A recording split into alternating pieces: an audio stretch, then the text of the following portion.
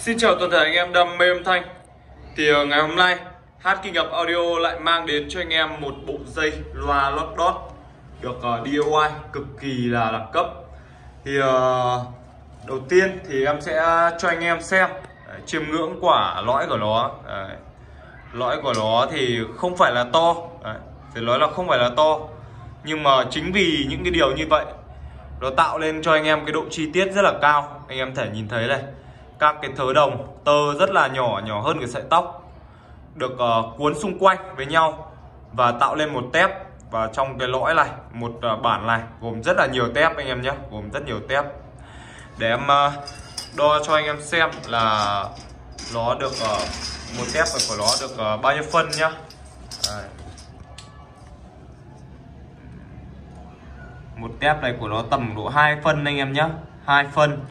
Và ở đây bộ này thì nó rơi vào khoảng à, 4 phân cho một vế. Đấy, có nghĩa là bộ này là bộ uh, đồng uh, nói chung là độ bộ uh, lót đót đơn anh em nhé bản đơn Đấy, bản uh, lót đót uh, blue đơn. Đấy. anh em thể nhìn thấy này. Đấy, một vế này rất là dài. Nó dài uh, hơn 2,5 mét. Đấy, hơn 2,5 mét.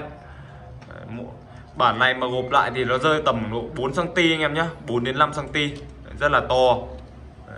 5 cm đấy. Rất là to. Và mỗi vế của nó dài ờ, hơn 2,5 mét cho anh em rất là thoải mái. Đấy. thì đây thì ờ, được em chính tay em ờ, DIY nhá.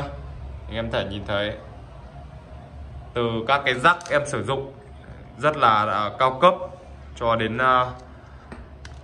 khi DIY rất là chắc chắn ở đây. Anh em thể thấy đây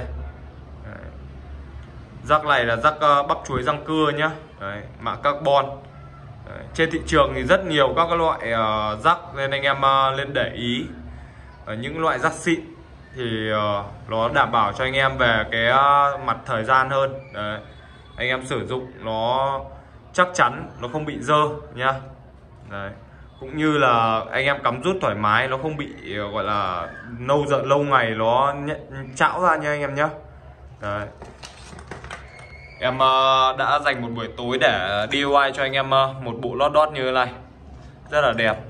Bản này là bản blue. Đấy. Xanh dương. Rất là chất.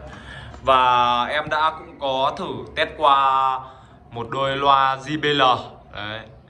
LH à, à L112 anh em nhé Em đã thử test qua. Bởi vì nó những đôi loa cao cấp Những đôi loa JBL thì uh, nó cho cái độ nhạy rất là cao. Khi anh em cắm vào thì uh, nó toát ra cái chất âm.